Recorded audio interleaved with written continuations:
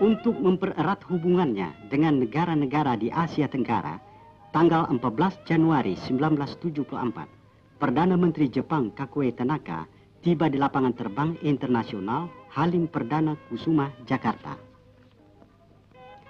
Kedatangannya disambut oleh Presiden Soeharto, Wakil Presiden Sultan Hamengkubuwono ke-9, dan para Menteri Kabinet Pembangunan serta masyarakat Jepang di Jakarta.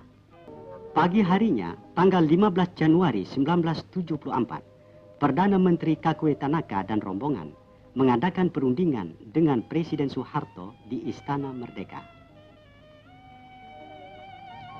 Pertemuan kedua negarawan diakhiri dengan saling menukar tanda kenang-kenangan. Sore harinya, Perdana Menteri Tanaka melakukan kunjungan kehormatan kepada Wakil Presiden Sultan Hamengkubuwono.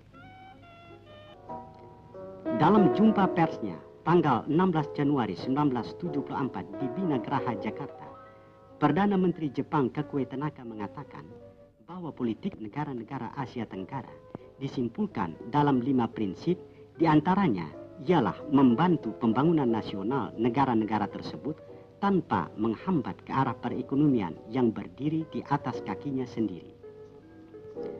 Dengan menggunakan pesawat helikopter dari Wisma Negara ke lapangan udara internasional Halim Perdana Kusuma, Perdana Menteri Jepang dan rombongan mengakhiri kunjungan kenegaraannya selama empat hari di Indonesia.